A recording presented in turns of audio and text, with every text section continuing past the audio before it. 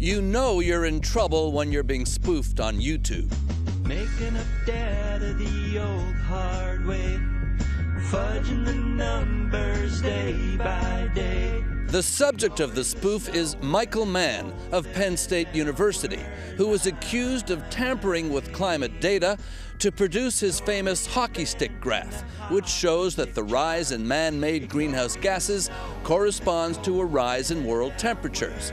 An academic board today cleared Mann, saying his science holds up, but the damage may have already been done. The biggest splash these days in the global warming argument may not be caused by the world's melting glaciers. It may be caused by a series of gaffes by climate change scientists. The latest one involves temperature data from weather stations in China used in global warming calculations.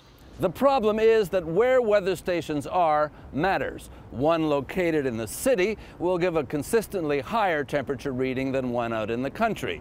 The allegation is that the researchers used Chinese data when they didn't really know where their weather stations were.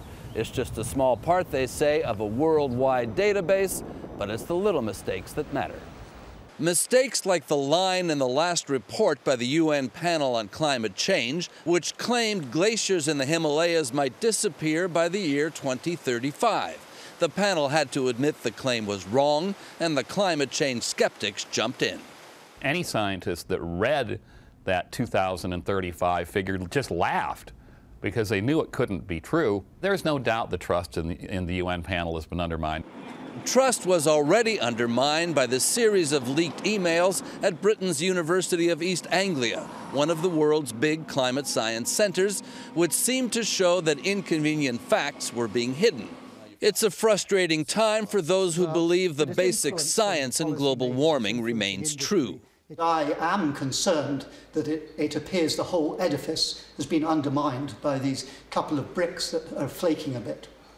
And that's a danger. It is a danger. View. Oh, I, I, I totally agree. The scientists may still believe they're winning the scientific argument, but they're in danger of losing the public relations war. So Mark Phillips, CBS News, London.